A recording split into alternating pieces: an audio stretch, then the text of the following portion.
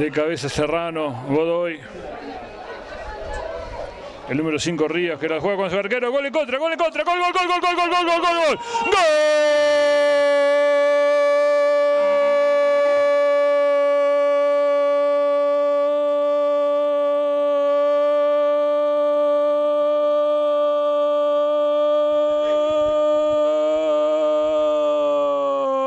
De Ituzaingó, desinteligencia en el fondo de la Madrid.